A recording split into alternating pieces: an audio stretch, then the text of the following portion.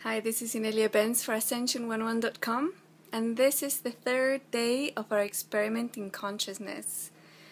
Today, um, Daniela and I and Monica met at the park, Alexandra Park in Bath, and we were being joy, light, love together.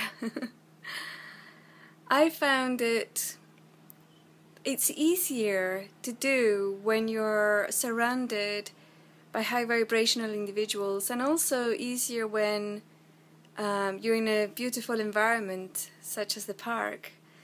Um, it was easier than the day before when I was at the hospital anyway. I didn't get go to sleep today, which is good. I stayed quite alert and happy, you know, very good. And I was really amazed at the connection that I started to feel and see with my surroundings the trees, the grass, the daisies, the birds. There was lots of seagulls, some dogs that walked by, even people who walked by. I felt like a unusual amount of connection, and it was interesting.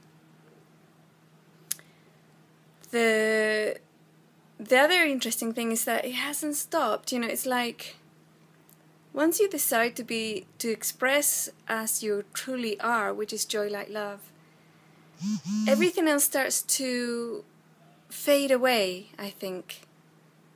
Obviously, you know, we're going to be doing 21 days of this, and it's going to develop slowly or at each person's rate, and we're going to see if it comes back or goes away, comes back and goes away, which is, I think, mostly on, during the day.